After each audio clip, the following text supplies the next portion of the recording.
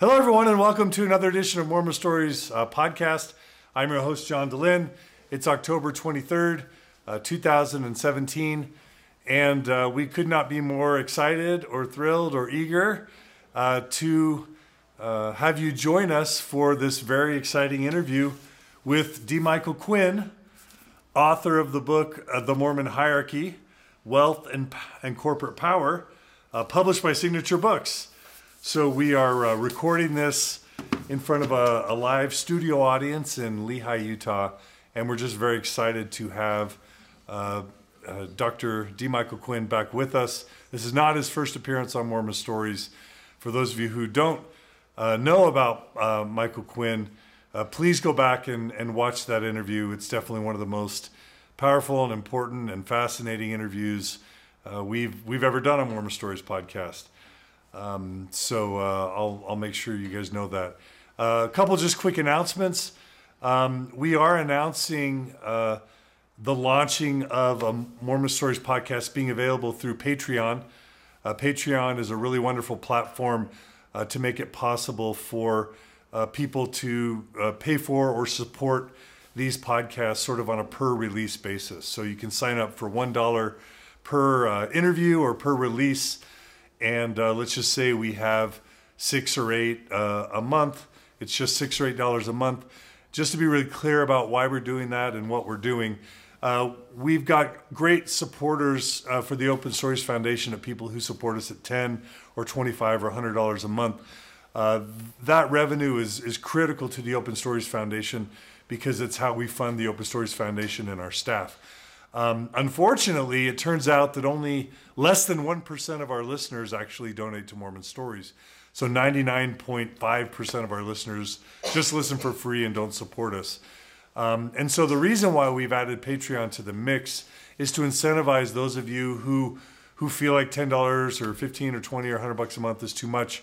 It's a way for you to just pay a lower amount um, and only to to pay as we release things. So we definitely don't want any of you uh, who support us uh, through the normal channels to cancel and switch to Patreon. But we are trying to capture um, a little bit more, higher percentage of our listeners because we really do need that support to keep uh, the operations of the Open Stories Foundation going. So I think the link is something like patreon.com slash Mormon Stories Podcast. You can go there, you can sign up. And as an incentive, what we're doing is we're going to be releasing these interviews two days early on Patreon uh, before the rest of everyone, the free listening audience, uh, gets to sign up. So if you want to get any of these interviews free or early going forward, not free, but early going forward, please uh, sign up to Patreon. And if you just want to be a normal uh, uh, Mormon Stories podcast listener, again, you can go to mormonstories.org and sign up there.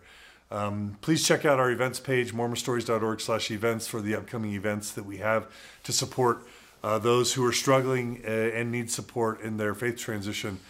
Uh, we get great feedback from those events, and we'd love to support you with that as well as you need it. So those are all the announcements for this uh, this interview. Um, before we begin, so without any further ado, uh, Michael Quinn, welcome back to Mormon Stories podcast. Thank you. It's great to be back. Yeah, it's so great to have you. And um, I just have to say, it was a real treat to get this long awaited book. We know that you've been working on it for quite a long time. Too long. Uh huh. yeah, well, um, uh, it was worth the wait. So, Thank you. So, we're really excited to talk to you about it today. And we've got a bunch of stuff to talk about today. We do want to talk about the book, we want to talk about the research, we want to talk about responses to the book. Um, we're going to be taking live uh, questions from the audience. But then we're also going to do just an update on your life and how you're doing and also just uh, talk to you a bit about the state of the LDS Church today and all the new and exciting things that have been happening over the past few years, uh, because we think your perspective and insight would be really valuable. So we're really excited. Thanks again for joining us. Glad to. All right, so um, let's begin with a little bit of the history about the making of this book. Do you mind telling us sort of when you first thought about writing this book and um, maybe sort of what the timeline was in actually getting it written. Well, it started before some of you here were born. Uh, it started with a a course I took as a, a new graduate student at the University of Utah, and it was um, about historical methods, and it was taught by uh, Davis Bitton, and it was a two-term course, and the first term uh, was involved in readings and discussions, and the second term was primarily research to present toward the end of the term a paper of 30 to 50 pages based on one of the uh, methods that we learned about and read about uh, during the first term. Uh, and it was a, an exploration of, of methodologies or, or uh, ways of approaching history that at the time were called the new history because these were uh, approaches that were not traditional in the uh, writing of history, whether it was in Europe or in the United States. And, but particularly in the United States, it, it was uh, called the New History. And so our, our topics and the examples of usually books within those topics were things like women's history, which had been uh, ignored during the previous centuries of, of history that looked primarily at males, common people's history, which had also been ignored in previous centuries with the traditional emphasis on elites. And then uh, demographic history, which was uh, a kind of a merger uh, of social science work, particularly sociology, with historical analysis so that you would look at a population, it might be the population of a town, over time so that you got a historical overview of it, but you're looking at the characteristics of that entire population uh, on various things that you, as an, as an author and researcher, were interested in, so that you presented an, an image of what that population was, and that was demography. Uh, and typically in demography, you don't identify people by name. Even though you looked at records that identified them by name, you're looking at the characteristics of an entire group. Another one of the uh, things that interested me particularly, and that was the beginning of what is now the Mormon Hierarchy series, was uh, what was called group biography. And uh, the readings that we had in group biography were one an English example and another one an Italian example. And the English example was written by Sir Lewis Namier, looking at uh, a, a, a, institutional elite, looking at the English Parliament during a, a period of time that corresponded to the reign of George III. And things that he was looking at uh, uh, for the characteristics of this limited group, which, un- unlike demography, was focusing on a smaller group in greater detail, whereas uh, demography is usually a group of hundreds, thousands in many, in some cases, uh, over time. In this group, it was a group of a few hundred over time, and he looked at things like uh, social class and most of the parliament even in including the um, the Commons, the House of Commons, uh, had connections with the nobility of Europe and and nobility of of England, education, uh, military experience, and marriage and intermarriage, the relationships of kinship and marriage that existed between them. And then the second book we looked at was, uh, and I forget now the name of the the author of this, but it was a book about the Renaissance uh, elite in Florence. And it was looking, and this was a group that was not defined institutionally, it was defined according to the power and their characteristics. So those who were wealthy, those who uh, were known to exert power during that time, uh, informally could be defined as a particular group, but were not defined by specific positions that they held, like the Parliament. And, uh, and those two books fascinated me.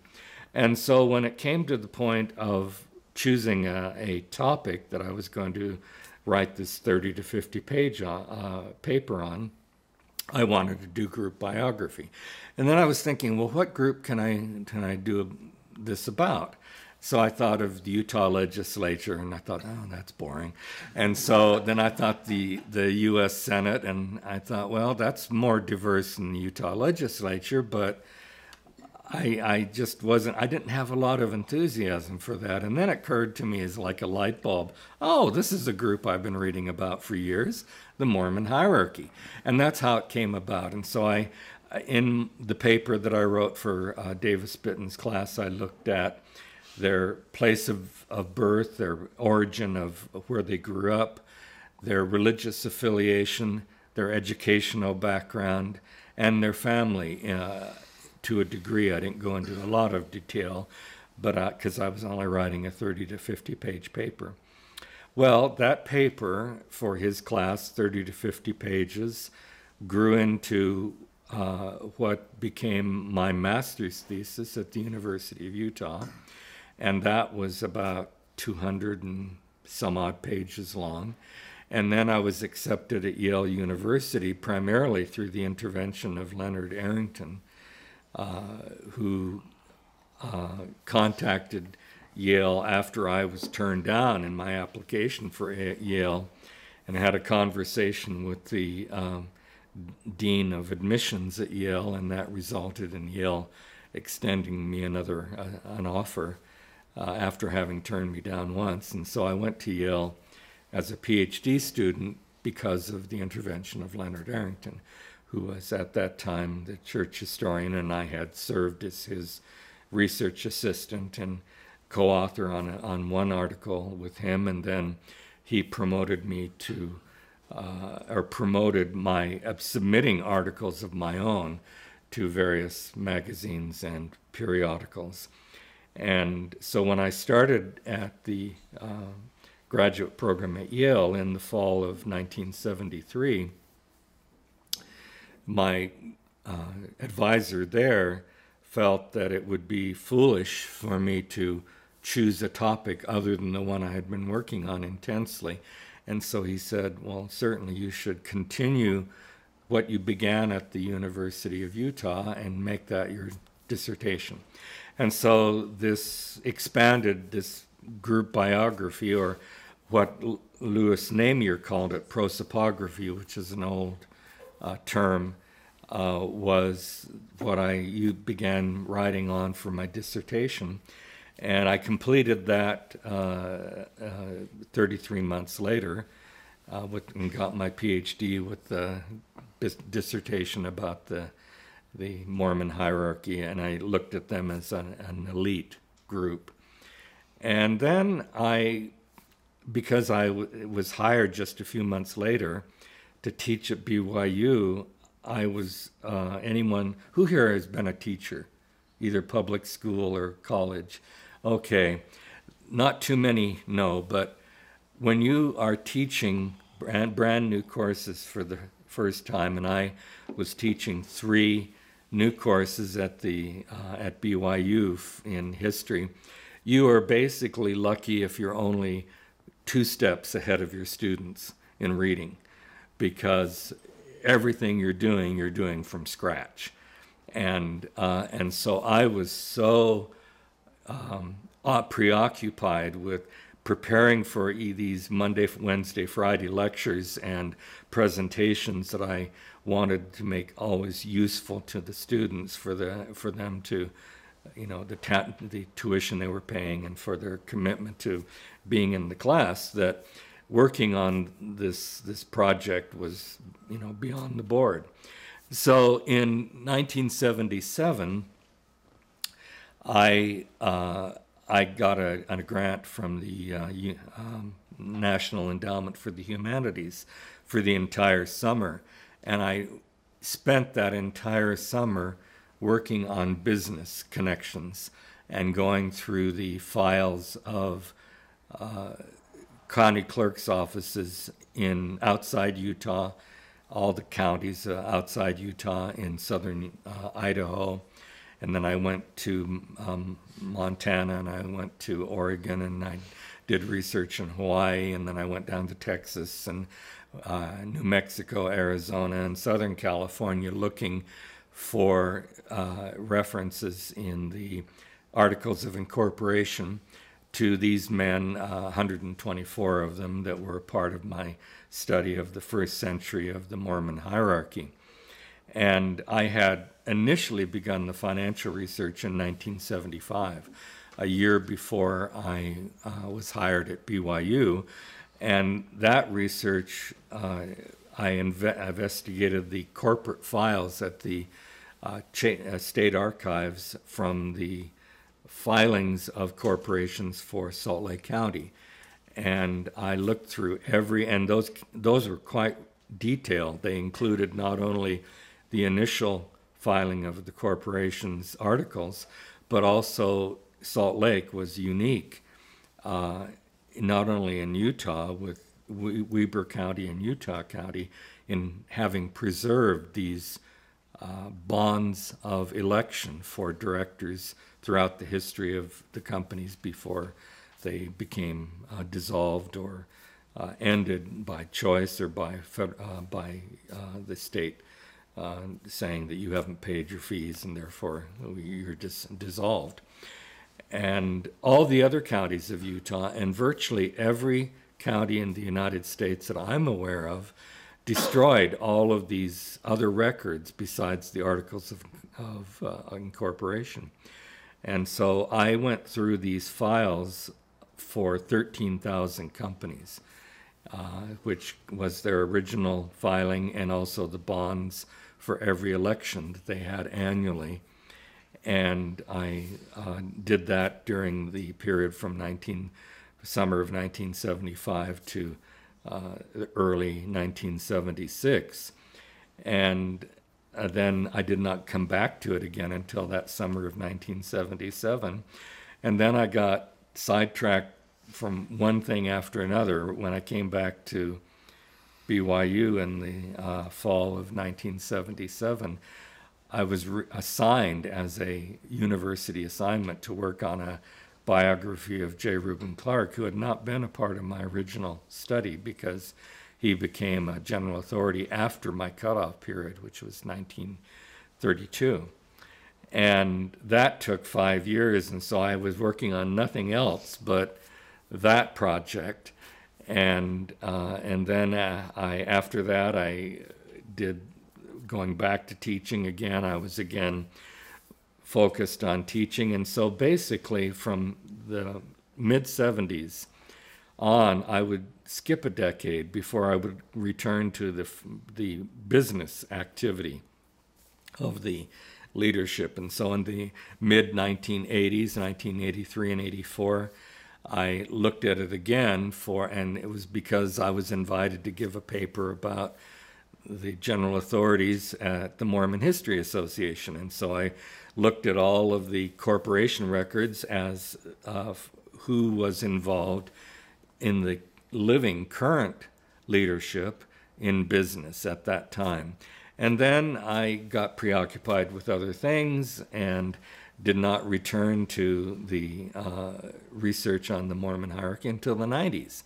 And so I then, after I published the first two volumes of the Mormon History Association. Talk, talk about those really quick. Just give, give our listeners, I didn't introduce the fact that this is actually part three in a three part series. Most of our listeners will probably know that, but just in case they don't, uh, Signature Books has produced uh, two other volumes in this series uh, previously. Do you mind just no, for I'd those who don't to. know, introducing those briefly? in well? 1994, uh, the first volume called Origins of Power came out, and that covered the period from Joseph Smith as a young man in the 1820s to the arrival of Brigham Young in the Salt Lake Valley in 1847. And then in 1997, the second volume came out called Extensions of Power as a subtitle. And that uh, covered from 1848 until 1996, uh, which was the period at which I did my research and analysis and writing and then handed the manuscript to Signature Books to publish. And so those were the two time periods that were covered and went well beyond what I had originally uh, envisioned. I had originally thought I would only work on the Mormon hierarchy until 1932, but the assignment from BYU pushed it up to the 1960s. So I had a lot of research that I had done during a five year period on uh, J. Reuben Clark as a member of the First Presidency and all the connections he had with general authorities that were far beyond, decades beyond my original cutoff point.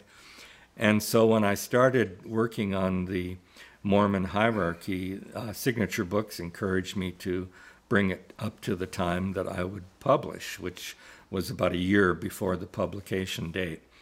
Well, I had biographical sketches in both the first volume, covering primarily the Joseph Smith period, and the second volume coming covering down to 1996. And the biographical sketches included different uh, emphasis, uh, different topics of each individual's life, and it was more like uh, more like a sketch. It wasn't a biography. It was usually a page or two pages. Some some cases three pages in the printed version, and one of those sections was business, and I would just and I just listed the business names that these men were invited in, and my goal was that I had had I had put together uh, what I saw as an appendix that included all of these businesses and all of the years in which the general authorities that I had uh, the uh, biographical sketches on, in what respect they were involved in these businesses as president, as director, as incorporator, whatever. Well, it was a very long uh, appendix, and and at, at the end, when I did the second volume, the second volume was uh, well when I when, when they first set it up. Uh, at the time, the production editor was Connie Disney, and she came to me after I'd given them this everything that I had written without except the business appendix, and she said, "Mike, it comes out ten a thousand pages in print." and she said, we, we, we can't publish a book that long, and you have another appendix you want to add to it. That's impossible. We can't publish this, this business appendix that you want. And the only way we're going to be able to publish the, what you've given us already is if we narrow the margins and make the type smaller and the spaces in between lines smaller. And, and doing her magic as production editor, she brought that thousand page manuscript down to about 750 pages. And, and then they printed it on thinner paper and, and got it to uh, be a, so that it wouldn't be a, a, uh, a bindery breaker of the binding for the book. And so here I had this, this very large appendix, and I couldn't publish it. And then after I had done the work on that, I got involved in a book some of you may know called Early Mormonism and the Magic Worldview. And that diverted my attention. And then uh, after I published the, uh, the 1997 second volume of the Mormon Hierarchy series, I had decided I wanted to update and change the format of the Magic World book. And so I, I worked on that and got that uh, ready to print as a twice the size of the original second edition of the early Mormonism and the Magic Worldview, and that came out in 1998. And so, in the period from 1994 to 1998. Oh, and there was a book I'd also published for the, uh, University of Illinois Press on same sex relations among 19th century Americans. So, in that space of four years, I had published four big books, and I was exhausted. And I actually, I felt like just leaving the field. I just felt like I've, I've, I'm at the bottom of the barrel. I can't do anything more. And so I had been given this offer to um, to move to Mexico by a man who owned a hacienda in southern Mexico. And finally, I was at the point where I just didn't want to do anything else. historically, and that had been my excuse for not taking his invitation. And so I said, if the option is still open, I, I, I, I'm going to take a break. I just can't work on Mormon history anymore. And so I went down to Mexico in, in Chiapas, which is uh, my family is Mexican. Half of my ancestry is Mexican, but it's from Sinaloa, which is right now, you may know, uh, cartel headquarters of the drug cartels in Mexico. And there is a long, uh, decades long uh, resort there in Mazatlan, uh, which is cordoned off from what goes on in the rest of, of Sinaloa. But my family was from Sinaloa, and when I moved to, uh, to Chiapas, Chiapas is 85% Maya, and uh, only 15 or so percent mixed, what they call um, Ladinos, uh, which is a derogatory term. Um, it would be like using the N word for African Americans.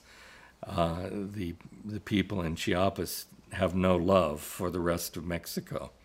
And this is one of the things about Mexico that each state in Mexico is almost like a different country.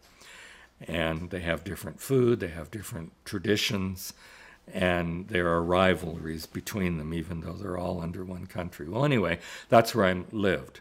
And during that period, I, I in fact, Will Bagley did an interview the night before I took the, the airplane to uh, Mexico City. And in that, I just told him, I'm, I'm leaving Mormonism, I'm leaving Mormon history.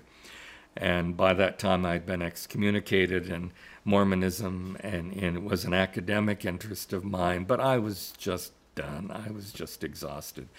And so I went down to Mexico and uh, lived down there for about six months and uh, picked up street Spanish through a tutorial and and were able to con- converse with people on the street and and restaurant Spanish, but I I didn't ever become fluent in it.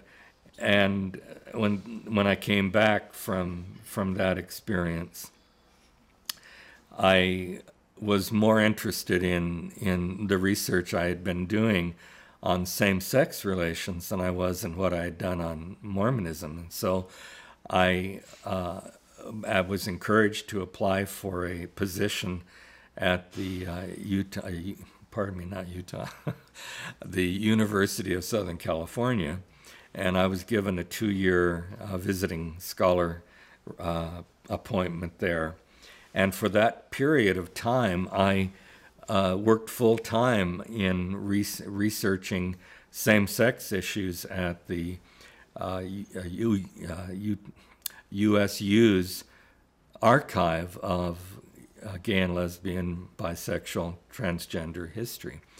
And, uh, and so for that two years, I was not working on Mormonism at all. I was working on, on same sex issues, and the, the lectures I gave at, at various courses at, uh, in classes at USC were all about uh, the historical perspectives that I had gained about GLBTI uh, issues, and and I had done a lot of cross cultural.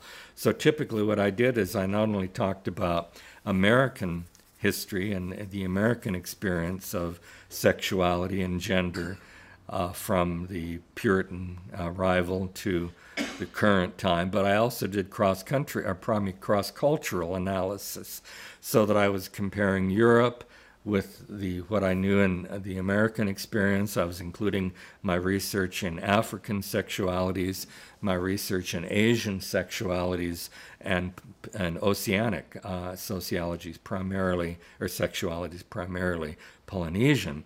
And so I would give lectures to courses in anthropology and sex and sexuality that were being offered by professors on a regular basis at USC, but I would be giving guest lectures uh, on this uh, overview of, of cross cultural perspectives historically on these issues. So Mormonism was just simply not on my radar uh, at this time. I was working on many other things. And then when uh, I went to the conclusion of that two year period, beyond my expectations, I was given an invitation for a full ride uh, visiting scholarship.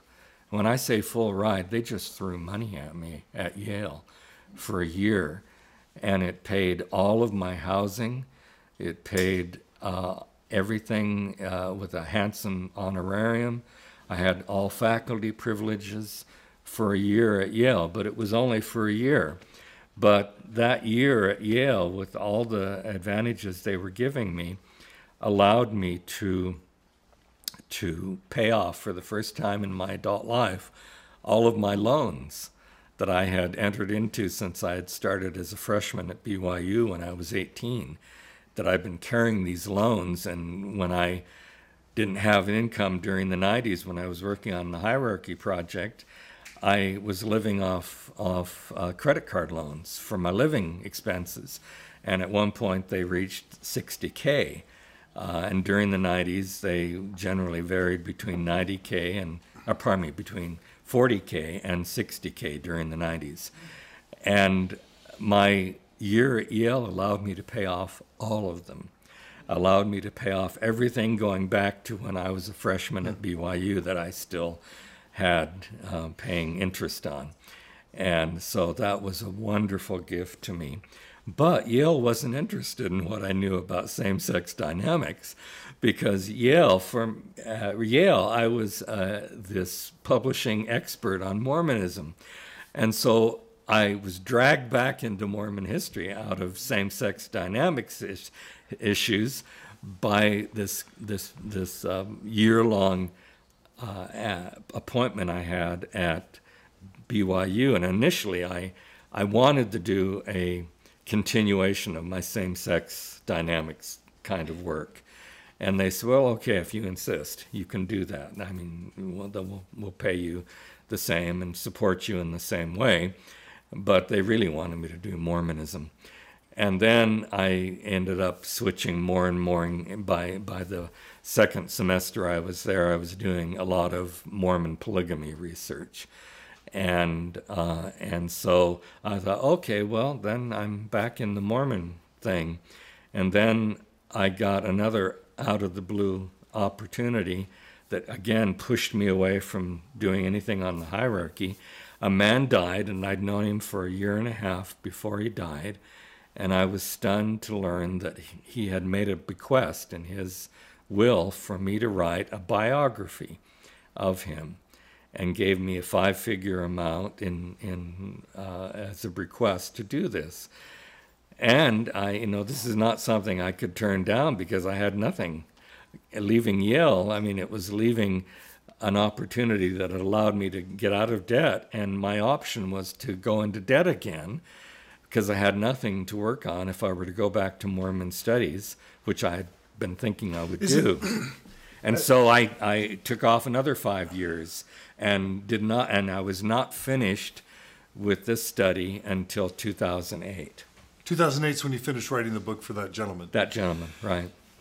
We, we probably talked about this in our first interview, but just to remind people, that there was this sense that uh, you were sort of being um, intentionally excluded from opportunities to sit in chairs of Mormon studies. That that basically these chairs, like at Claremont or at Virginia or at Utah State, are primarily funded either by the church or by wealthy believing church members. Right. I even I even remember talk about an Arizona State chair that that maybe you'd been considered for, but that but the donors basically did what they could to blackball you and keep you from ever being able to have a full-time faculty position in Mormon studies. Is yeah, that- well, the I was turned down when I was the only applicant for two two positions, and that this was in 2004. While I was working on this other biography, but I I was uh, you know I, I, had told the the uh, um, the trustee of the estate if I get one of these appointments that I, am applying for, I'll have to defer. Um, your your completion of this biography. I will work on it. I, I feel committed to do it. But uh, you know, if I'm hired, I'll be hired, and that'll be my first priority is teaching. at, and initially it was the University of Utah. And I was offered, uh, well, not offered, I, I applied, and I ended up being the, the only finalist for this position in Western American history. And so I, I thought, oh, this is going to be great. I'm, you know, it's my alma mater for a master's, and and I'll um, come and be hired, and you know, end up teaching the last ten years of my active uh, career life before typically they try to get you to uh, retire and become emeritus. And um, I didn't impress them, and the the um, history department at the U of U had for decades been polarized between those who were pro Mormon and those who were anti Mormon. Even if they had been raised Mormon, they did not want Mormonism to be emphasized. And those two who had been at loggerheads for decades and barely on speaking terms could agree on one thing we don't want Michael Quinn because for the pro Mormons, I was anti Mormon and openly gay. For the anti Mormons, I presented too much of a positive image of, of Mormonism, and they didn't want me there for that reason. And also, they didn't want somebody who was a Mormon specialist to be uh, their new hire. And so they turned me down at, uh, at, even though I was the only applicant that year for the position they wanted to fill for the following year. So, after that happened, Arizona State University, out of the blue again, I keep getting these offers out of the blue that I had not uh, thought for. Uh, one of them came to a, a Claremont uh, event that I attended, and one of those professors from the Religious Studies Department of the Arizona State University campus uh, said, Well, we would like to have you uh, be a, a guest for our department for a year's appointment. And would you be interested? No, yes, I really would, because this is after I'd been slapped in the face and turned down at the U of U.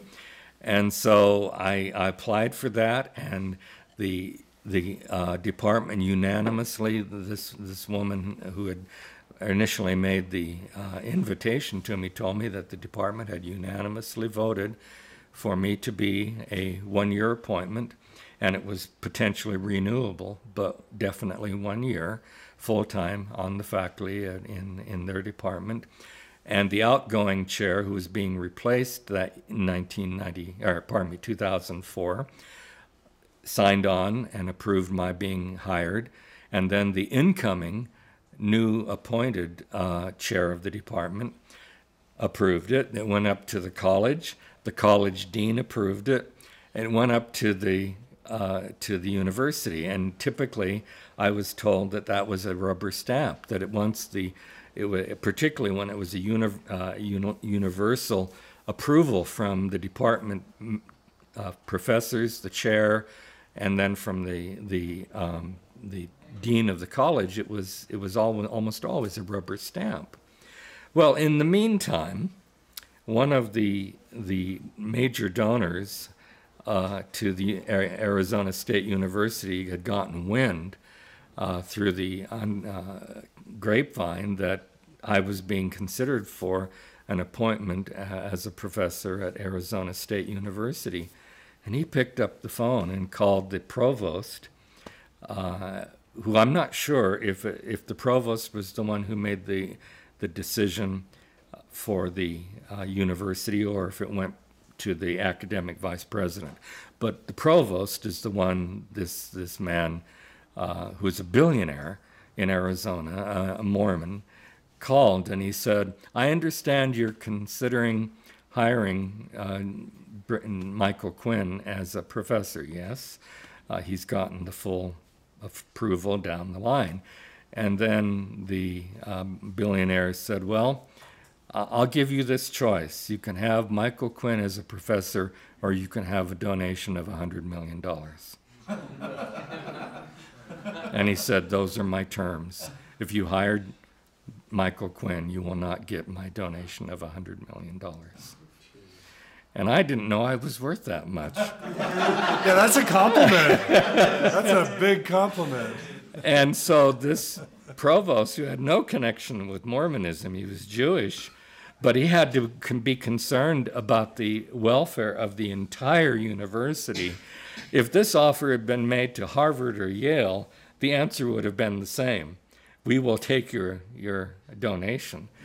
And, and so the university turned down the, uh, the multi tiered recommendation that I be uh, uh, the volun- not the volunteer, the visiting scholar in the religious studies department for the the following fall, uh, fall 2004 to spring 2005. And that just came as a shock to everyone. It outraged, and the I heard from more than one member of the department that they were just outraged that this had been uh, the decision that, contrary to every other experience that not only their department, that other departments had had, that the university had reversed a decision that had been unanimous up the line. So, anyway, so that happened. Well, this billionaire didn't trust the university, uh, that they would keep their promise verbally to him. And so he waited to see what would happen in the fall term.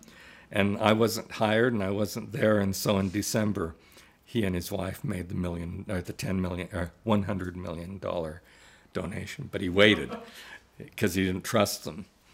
And uh, so again, uh, another lost cause. But anyway, in 2008, I finally was ready to go back intensively to the research on the hierarchy. And in the meantime, while I was working on this biography of this man that had come to me through his will, I contacted uh, Signature Books, and the managing director at that time was was Ron Priddis, and I told him, you know, I wanted them to publish this appendix as a standalone, and I said I'll, I'll write a 10 page, maybe five or 10 page introduction to it because the people who've read the first two volumes have the names of the companies, but they don't have the, the histories of the companies that this appendix will give. And he said, Mike, we want, we're not going to publish an appendix.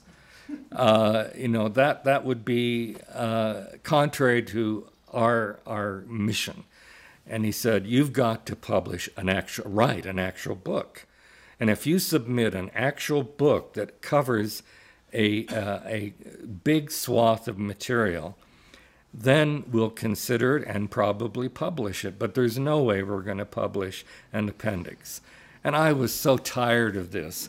I was just beyond myself. And I said, Well, I don't want to do go back to this research that I started in the mid 70s. And, uh, and I'm not going to. And he said, Well, then you're not going to get it published. And, and so I whined and moaned and groaned and had more than one conversation with him. And he just, he was adamant that, that they wanted a complete book and not just this appendix of one damn fact after another about all, you know, these, these companies.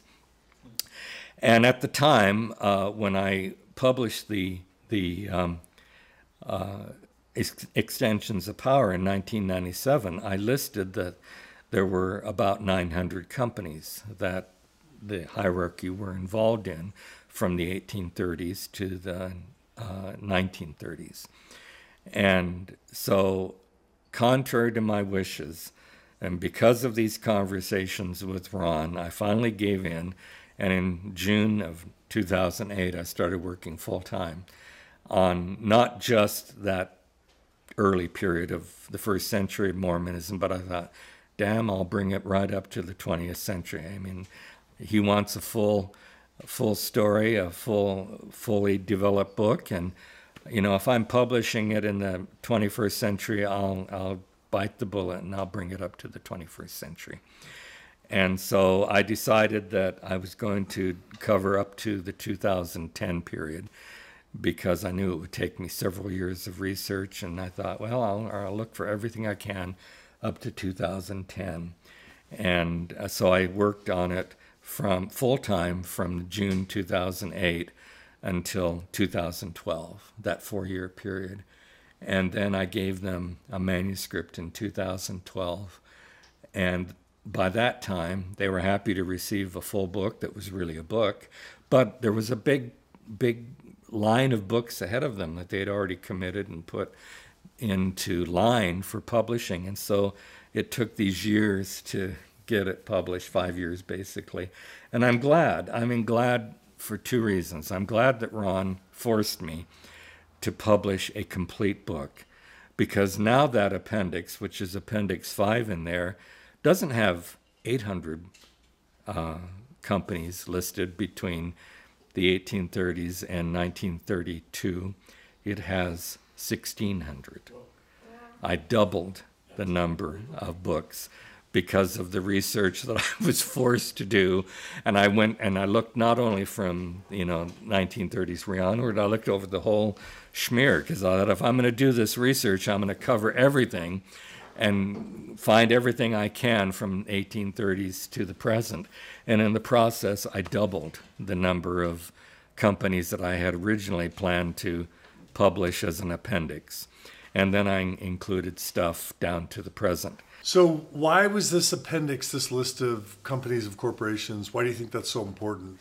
Well, it it it was important because the the mere list of names that I'd provided with each of the men, as far as I'd researched them into the 90s, uh, allowed misinterpretations by readers. It allowed readers to think, oh, they were involved in these throughout their whole lives, or maybe they were involved for them for one year and it was a total mixture. And so that would, was essentially uninformative. All it told the readers of the first two volumes was that Brigham Young or that J, uh, not J. Reuben Clark, Heber J. Grant in the second volume's uh, biographical sketches was involved in these many named companies.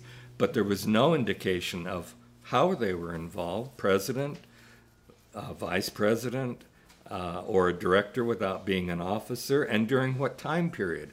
So there was no flesh. All that was there were the bare bones titles. And it was really uninformative beyond that for the readers. And I felt they deserved to have a, a, a full picture of that business uh, so that they would not overestimate what the involvement was nor underestimate it. And that's why it had always been so important to me to get that published.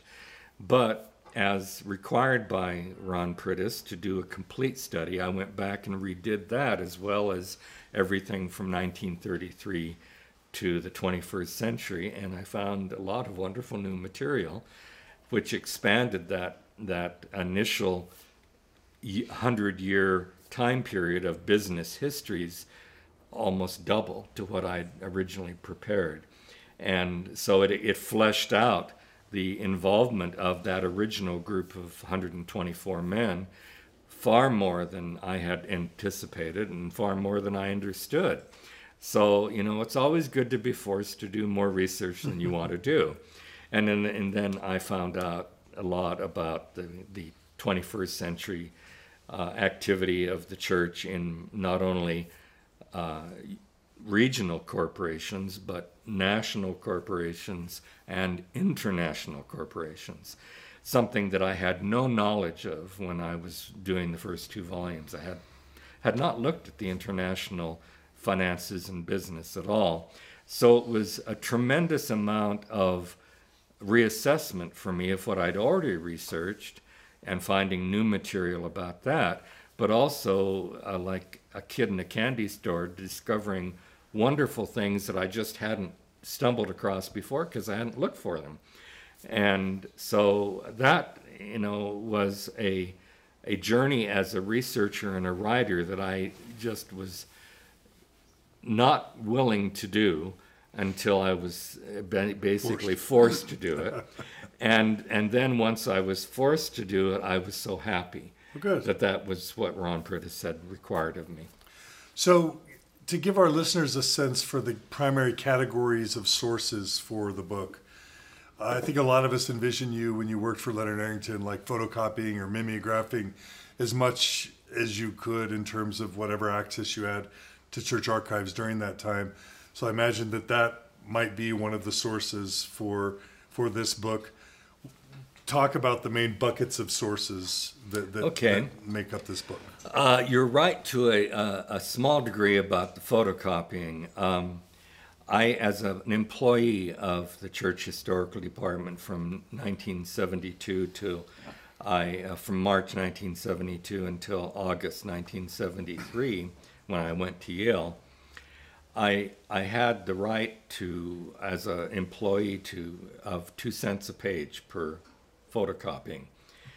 And that sounds like really a small amount of money, but my wife and I were just coming, had just come out of the army when uh, I started doing this, this research in the church archives initially as a graduate student.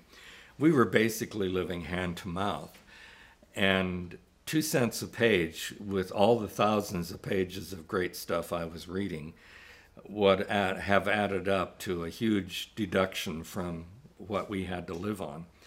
And so I, uh, I don't think I photocopied during that year and a half more than 50 pages. And those 50 pages were all tithing records of the general authorities, tithing they paid. And also the, uh, the annual reports of the presiding bishopric, because I didn't want to depend on, on typing and making an error in typing those or hand, you know, handwriting. And so those I photocopied, and those were basically the only things I photocopied. Everything else I typed. I'd been, uh, I was uh, uh, tested in the military while I was a counterintelligence agent at uh, uh, my typing minus errors, and I was 100 words a minute typing after you deduct errors. So I typed fast.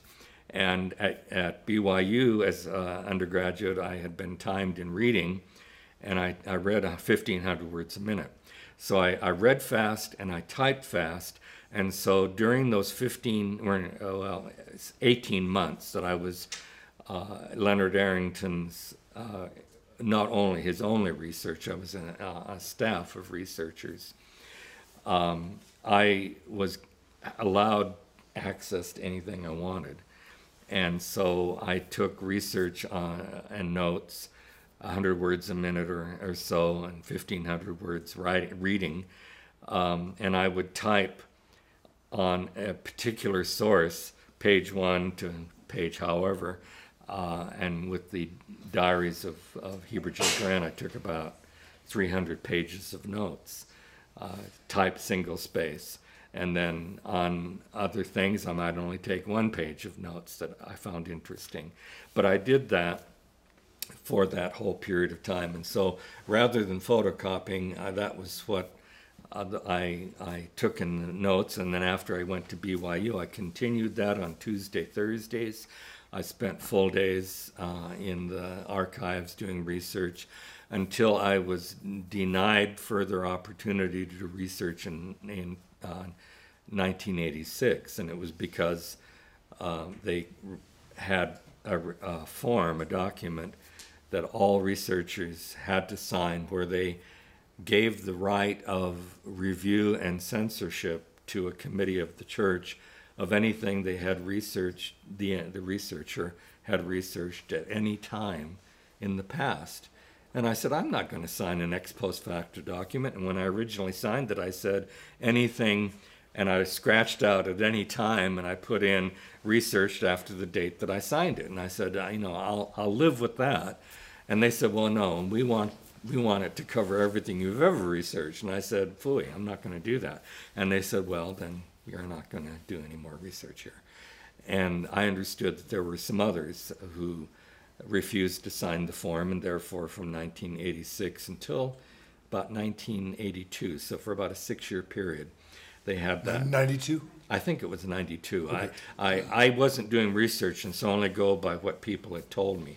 But I think it was 91 or 92 when they had so much criticism about this requirement that they created a new um, uh, document that researchers signed, and it had no provision for that. And it simply said uh, anything you publish uh, is governed by federal law of fair use. And, you know, that's fine. No one objects to that because everyone is governed by fair use requirements of, of federal copyright law. And so uh, from that point forward, uh, I could have, but I didn't for another five years go back to the church archives until I was working on the, the um, revision of the Magic World book in 1997. And there, uh, by going through their index, which was available without signing the form, I had realized that there were things I needed to research to do that update. Uh, healing ordinances and other things that I knew pertained to it. And so I thought, well, you know, what can they do? Kill me and eat me if I apply and they turn me down. So I, I applied for the, the research permission again. And I had not had it there since 1986, had not been there doing research until 1997. And I submitted the application and I was granted it that day. Post excommunication? Yeah, post excommunication. Five years, well, four years after I was excommunicated and uh, and three years after Origins of Power came out. And I had not done research at the Church Archives since 1986. Any way to estimate how many of those pages you generated through reading? Tens of thousands of Tens pages. Of how many boxes? Would you uh, well, I it's hard for me to uh, estimate. I think I. I think I put 20, 20 boxes uh, and sent them to Yale of, of those, but So it Yale's could have been your- could Yale- have been more. Yale's got your paper collection? Yeah, uh, Yale has my collection at the Beinecke Library, and it's open for research. That's totally open to any researcher. All those notes, and then in the meantime, over the years, other researchers gave me their photocopies of material, and so if you do research in my research search files at, at Yale, you'll find a lot of photocopied material, but it's material that other people gave me. And essentially, all I photocopied there were the financial records of tithing paid by general authorities and of the presiding bishoprics' annual reports that showed tithing and that kind of thing. Uh, and everything else was in uh, a gift to me that's photocopied uh, from vari- various sources. And then uh, the balance of it is my 100 Okay. page, 100 word a minute type typescripts. And some of them were verbatim, complete typescripts of documents, but most of them were excerpts that I found interesting. And I had wide ranging interest because from the time I started research, before I was uh, hired by Leonard, when he was just a researcher there in uh, the summer of 1971, I was interested in everything. And so I would take down notes of everything I thought I might conceivably use one day to uh, create a, my own article, whether it was Adam God or polygamy or the, theocracy or whatever it might be, decision making of the leaders, uh, relations with their wives, uh, anything that I found, I took notes on, and then in the in the or in the um, our margin, I would write what topic it had to, uh, my notes had pertained to, and for many years, I depended on memory to go through my thousands and then ten thousands of pages of notes that somewhere in the Wilford Woodruff uh, notes I've taken on a page on the right hand side and the upper part of that page is something about Adam God. And I would depend on my memory for that. And I would read through the all my notes. And that's how I kept all of this in my mind because I was reading and reading every time I wrote something. I would read through the all thousands of pages of notes to look for the things that pertain to my article on the prayer circle or my article on the Council of 50 or wherever because I, I didn't know exactly where they were. And so by the process of constantly, every time I, I published a new article, reading through everything that I had all previously researched in my notes up to the point of preparing that article, I, I got this stuff stuck in my head. Nice. And, uh, and luckily, it's still there.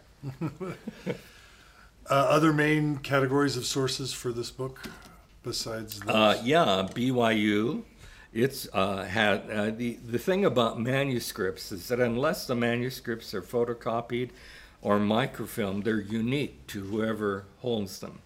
And so, a manuscript library, whether it's BYU, the manuscripts they have are unique, and you generally have to go there to donate them unless the donor has donated multiple copies.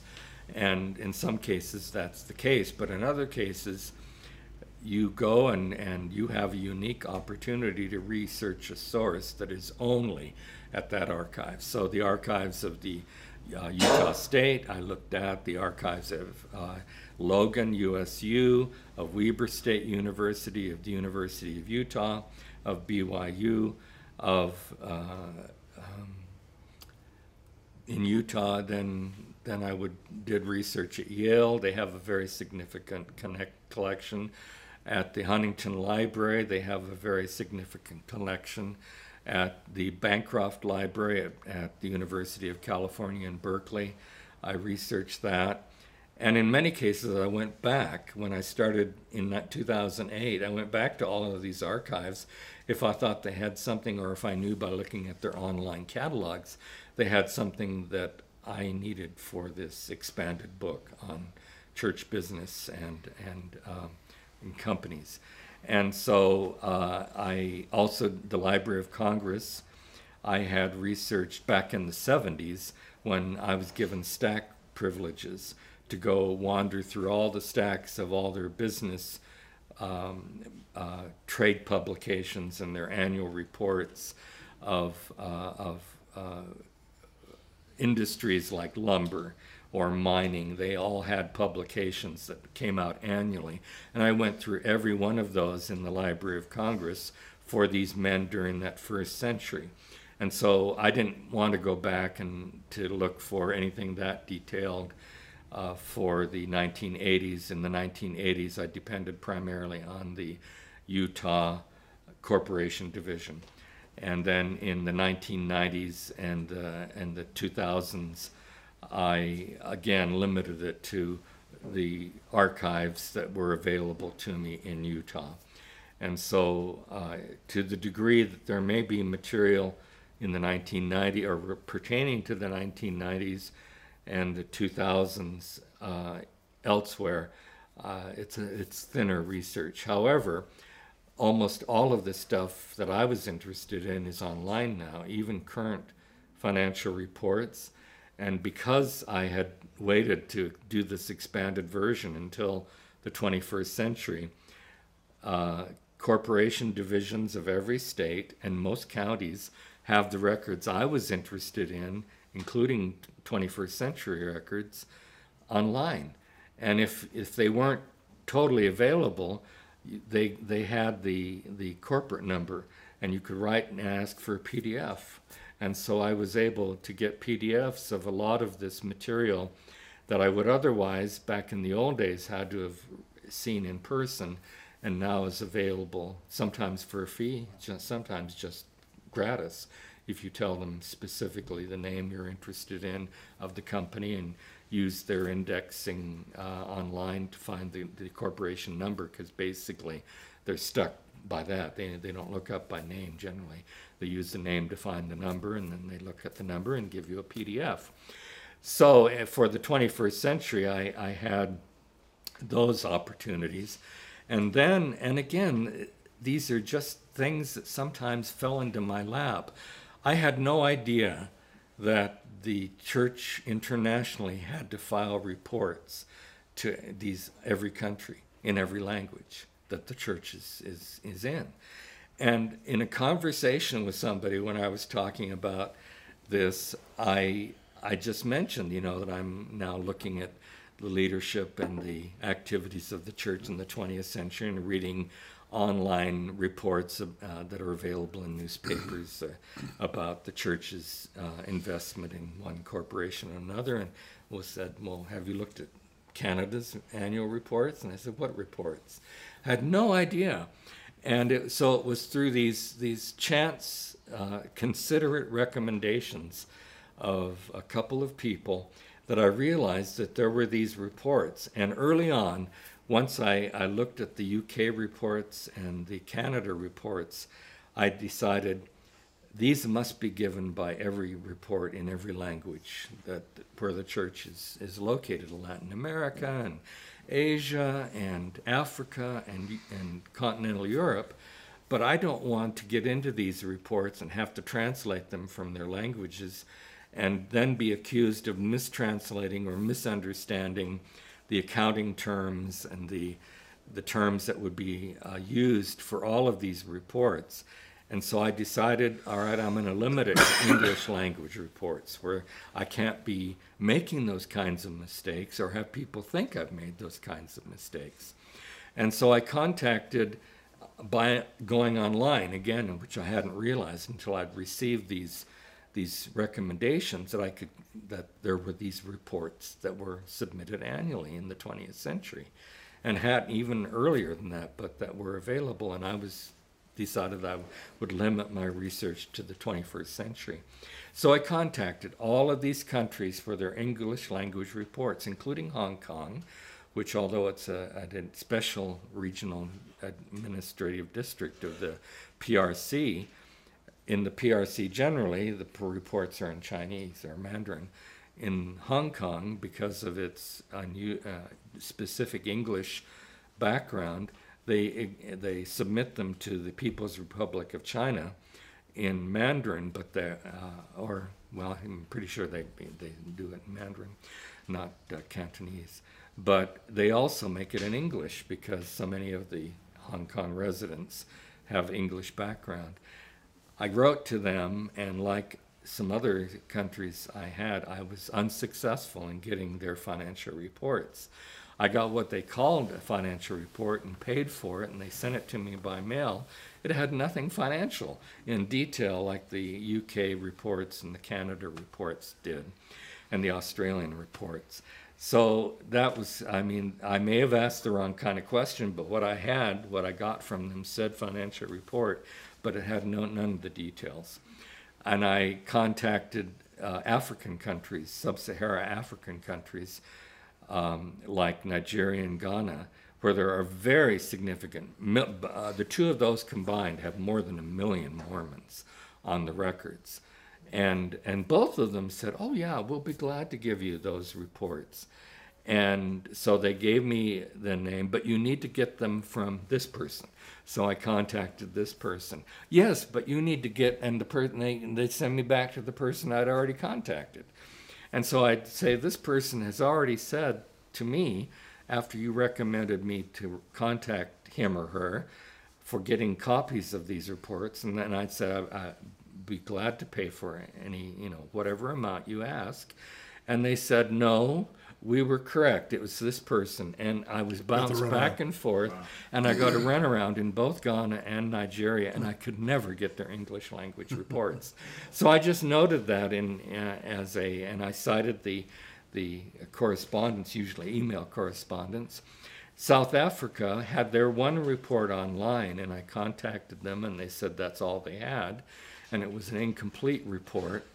And so, even though they had English language reports, they said that you know that that was the only one that provided details.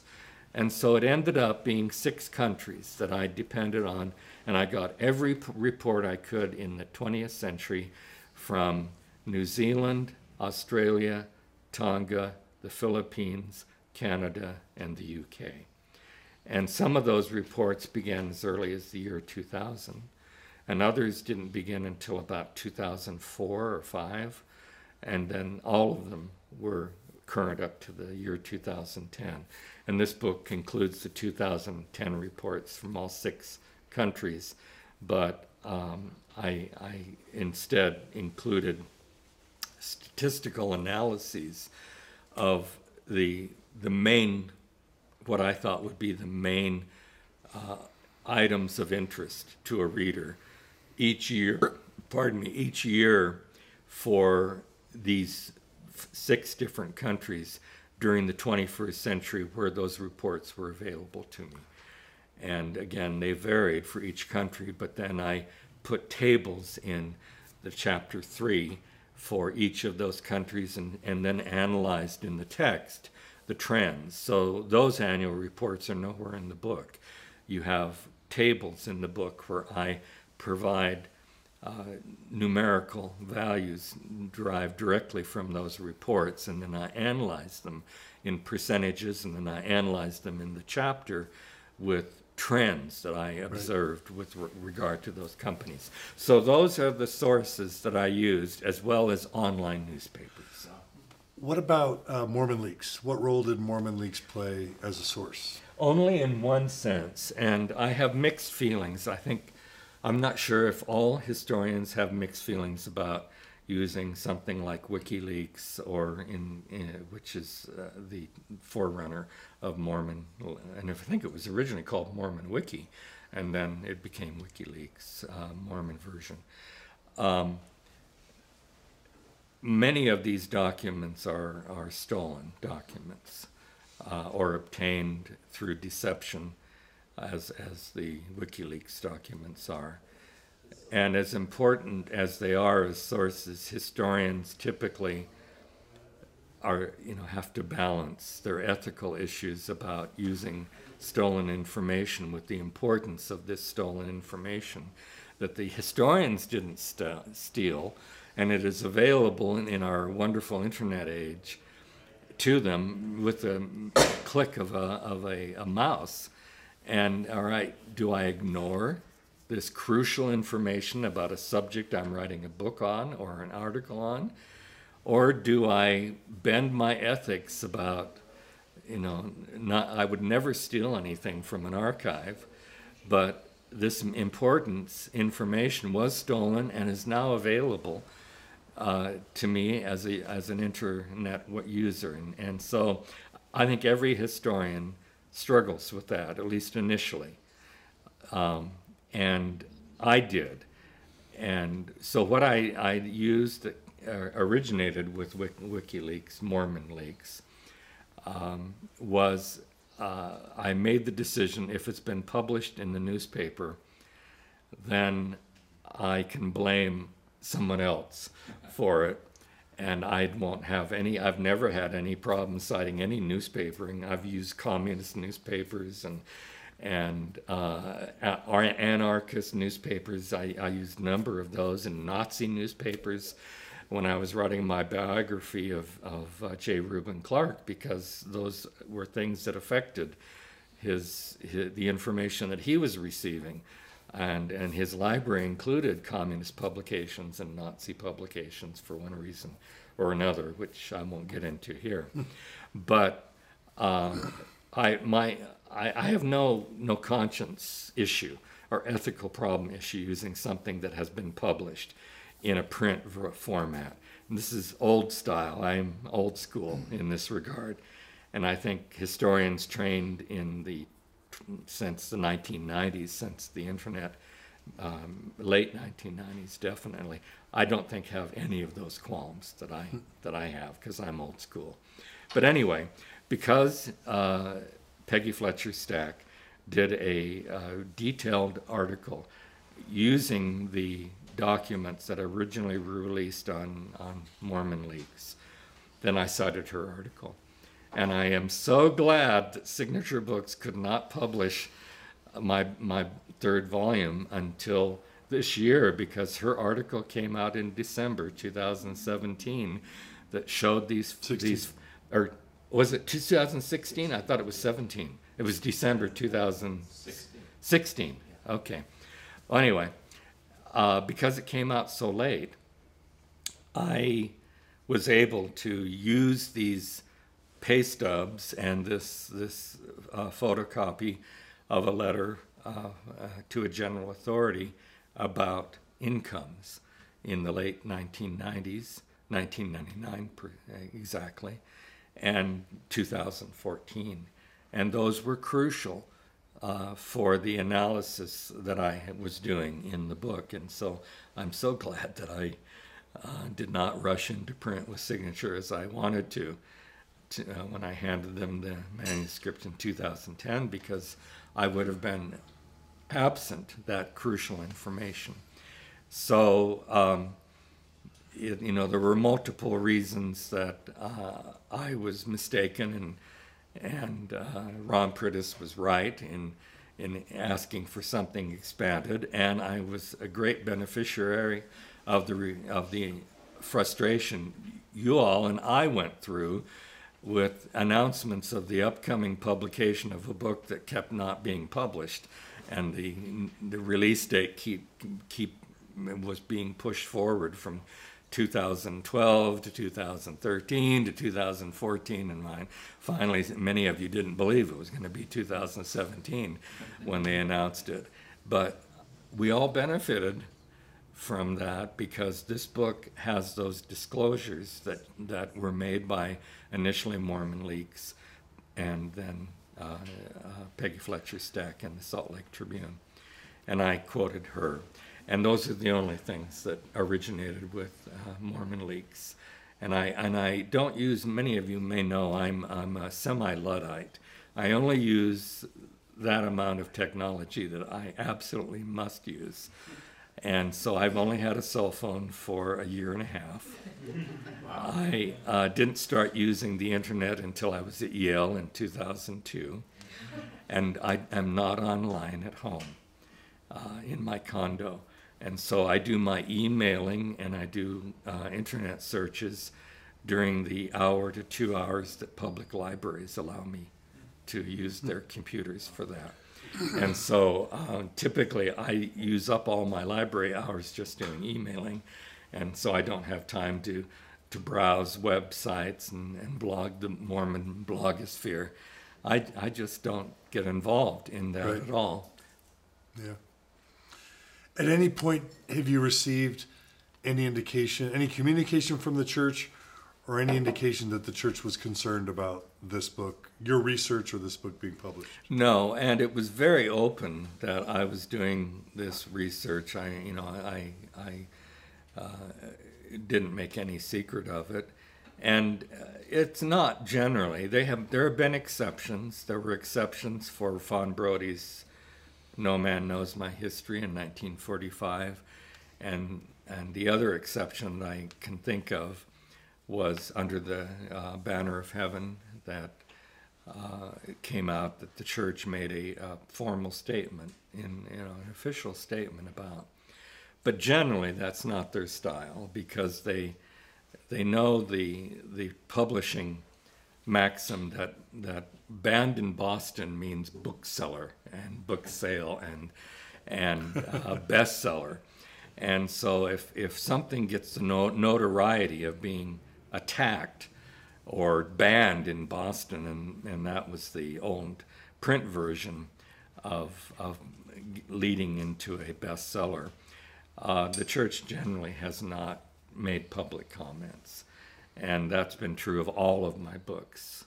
Uh, they have not. However, the Encyclopedia of Mormonism, when it came out in 1992, cited many of my articles that had been published, primarily those in the uh, in BYU studies, but they, you know, I, even though I was under the ban even then, before my excommunication, uh, many, many of those brave-hearted uh, contributors uh, cited cited things that I had published, and many uh, of the uh, publications that have come from BYU's Religious Studies Center have cited my publications, including publications uh, that came out in Dialogue and Sunstone and, and, and Signature Books publications. So it, it's depended on the format and the venue, but public uh, statements, church headquarters has never made those about any of my publications. Any private concern expressed?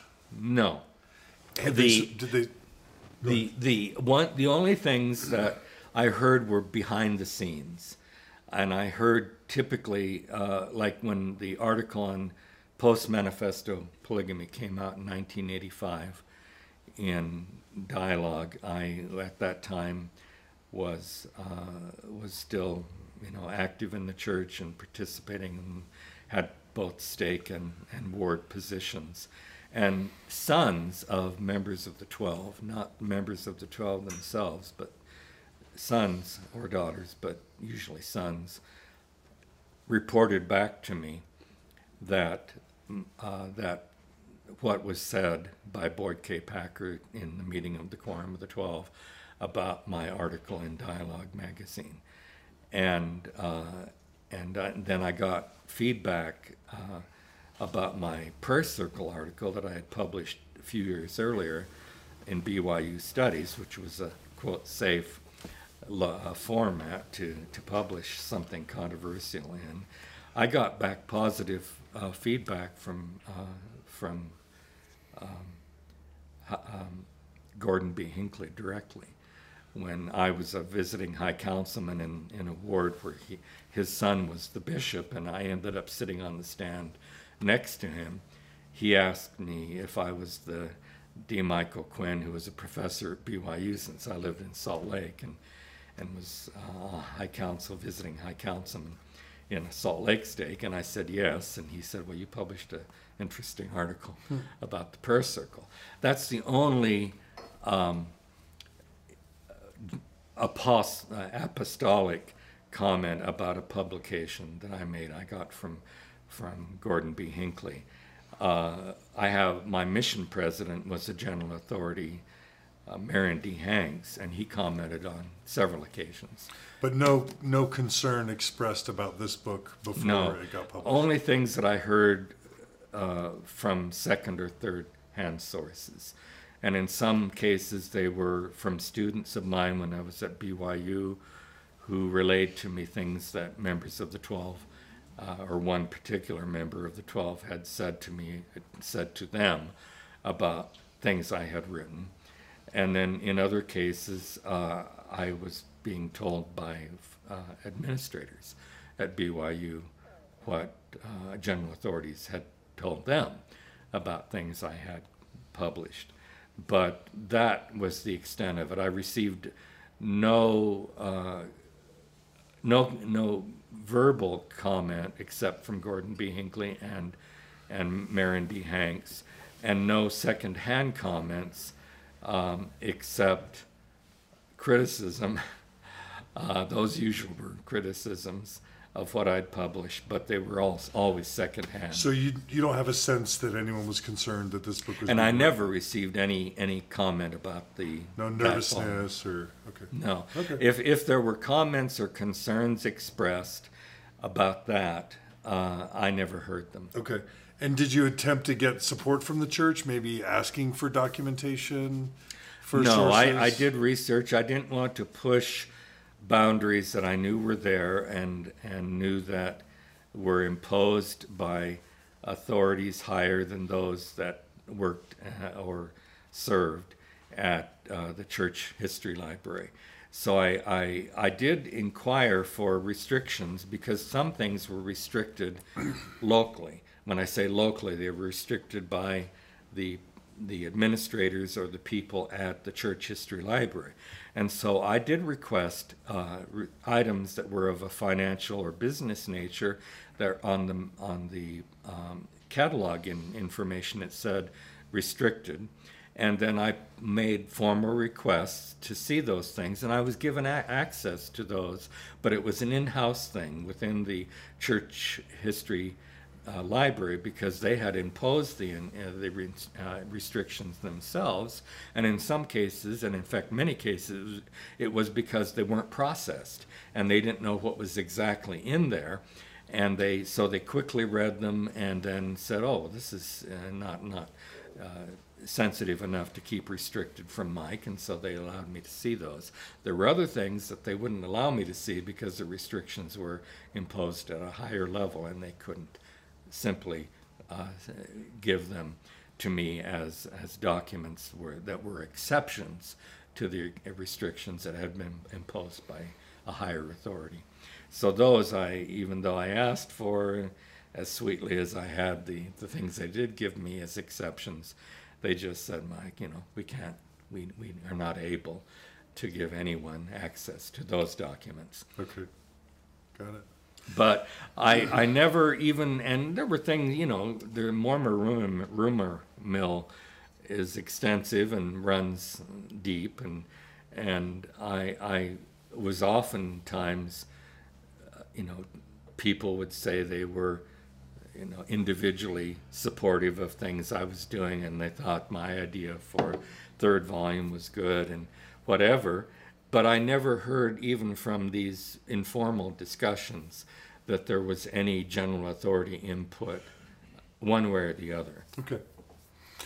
Um, I had an interesting experience reading this book, and I'm curious if you had other people give the same experience. So I'm thinking it's a thick book, you know, and and it's going to take forever to read it. And so I start digging in, and you know, I'm getting about 100 pages in, thinking this is going to take me forever, right? And then I realized that that actual the actual writing in the book, there's only 100, 120, 130 pages of actual writing. Um, and then a huge chunk is is the appendices. Right. And then even within the pages that you did write, multiple pages of footnotes per per chapter. Right. So I don't, I, you know, it is a lot less writing than I anticipated. Right. What are your thoughts or responses to that? Did Well- other people said that? And You know, count your blessings because it was going to be five pages to begin with. sure, sure. You said you didn't want to write it, right? No, I did not. Yeah. and uh, it it just it just grew because I found things that were enough to write about. Sure. And I then I found things that I, I found one very interesting source on, and I thought I've got to explore and and flesh this out. I- and and so uh, you know beyond my my uh, and it wasn't better wisdom. It was beyond my entrenched opposition to doing uh, more writing and more research. I did more writing and research. So you know, if if you're disappointed, No, I didn't say I was disappointed. I was surprised. Surprised, or if you're you're surprised, uh, balance that surprise with the the reality that I wrote those chapters under duress, and I I I treated them once I realized what I was really writing about, particularly in the period beyond what I had originally researched. I treated them with loving attention because I realized I had discovered things and was writing about things that I had really previously not even known about. And that was exciting. And so I had a lot of kid in the candy store moments uh, in the process of preparing those books. But in large measure, though, those three chapters are derivative from those uh, appendixes. Uh, and it's t- 21 appendixes, and you know, it's one damn fact after another.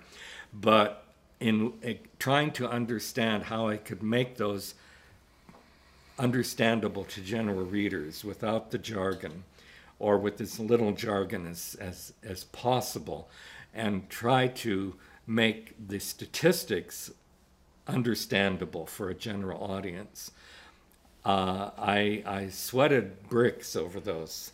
And, and so those chapters represent, and those tables, which I tried so hard to make self evident, uh, are, are the result of, of finding this voluminous amount of information and then trying to distill it into narrative that would flow and that would present an overview in depth, but also an overview of 180 years of business and finance.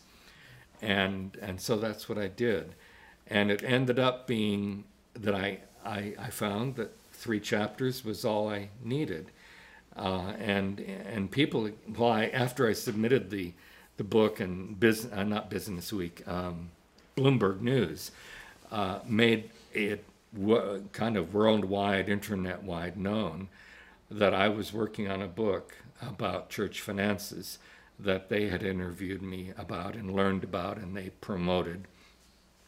And after people read that Bloomberg News uh, report and and uh, learned that I was working on a book, people would come up to me and say, after I'd submitted the, the manuscript in the main to Signature Books, they would say, "Oh, have you read this thing?" Or I I know somebody who works at church headquarters, and I think they have documents that you may want to say.